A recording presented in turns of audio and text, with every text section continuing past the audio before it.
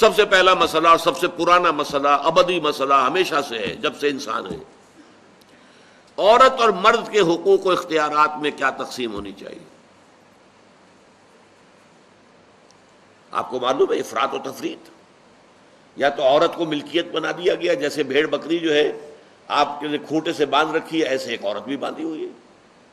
वो आपकी मिल्कियत है, उसके कोई हुकूक नहीं है, उसका कोई लीगल स्टेटस नहीं उसका कोई तशखस नहीं, कोई है ही नहीं। या वो इंतहा होगी, और या वो इंतहा है जो आज आ गई है। बिल्कुल मर्द के शाना बशाना।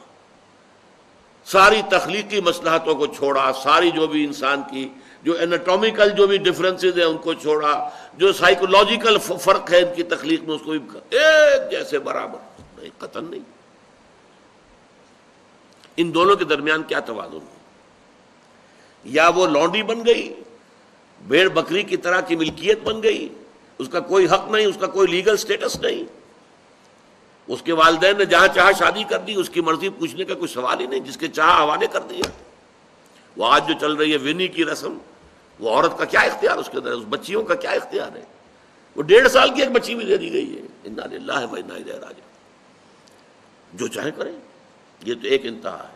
दूसरी इंतहा, बिल्कुल बराबर। नतीजा क्या निकला है? बिल्कुल बराबर में।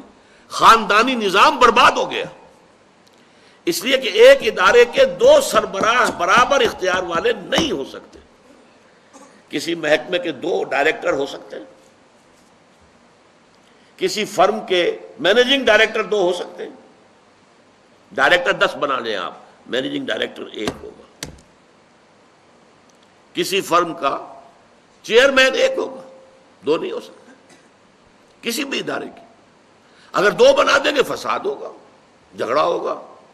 उन दोनों के दरमियान रस्साकशी होगी। यही तो हमारा सबसे बड़ा मसला बना हुआ है। पाकिस्तान का मसला क्या है?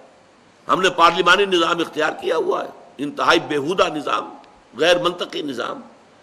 आपने दो बड़ी बड़ी सीट्स क्रिएट कर दी। एक हेड ऑफ़ द स्टेट है, एक हेड ऑफ़ द गवर्नमेंट है। अब इन दोनों के दरमियान हुकूक और फ़राइज और इख्तियार का क्या तकसीम होगी? हो ही नहीं सकती। या सारा कुछ सदर के पास जाएगा और वज़ीर आज़म जो है, वो जो की मानंद वज़ीर आज़म बन जाएगा।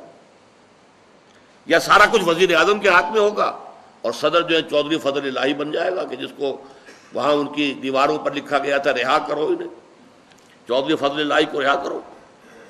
यही होगा। तो एक घर के दो जो है, दो सरबरा नहीं हो सकते खानदानी इदारा तबाह हो चुका है। और जैसे कि ये आपको कहावत है कि जिस बिल्ली की दुम कट जाए, वो चाहती है कि तमाम बिल्लियों की दुम कट जाए। यूरोप में, अमेरिका में बर्बाद हो गया खानदानी इदारा। आज वो तुले हुए हैं कि मशरक में और ख़ास तौर पर मुसलमान ममालिक में अभी अगर कुछ इंटेक्ट है ये ख़ानदानी इदारा। कुछ ख़ानदानी अकदार हैं जो बरकरार हैं। कुछ वालदेन की इज़्ज़त और अजमत और कुछ उनका एहतराम और अदब और खिदमत का मादा है जो बरकरार है। चाहते हैं कि ख़त्म हो जाए, तबाह बर्बाद हो जाए। वालदेन बूढ़े हो गए तो फेंको उनको ओल्ड एज हाउसेस के अंदर।